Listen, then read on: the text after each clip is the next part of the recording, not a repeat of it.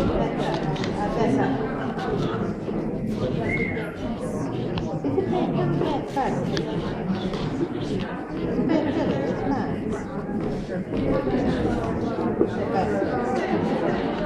you?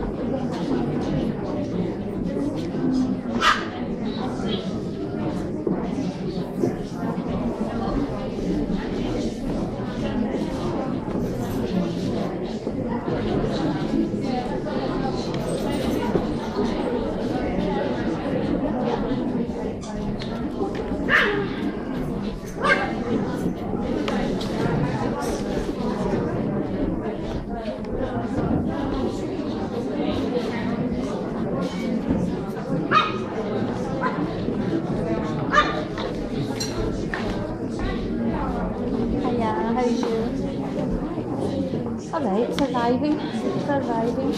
Nothing that a good bed wouldn't cure. well, Lorna drove all the way down.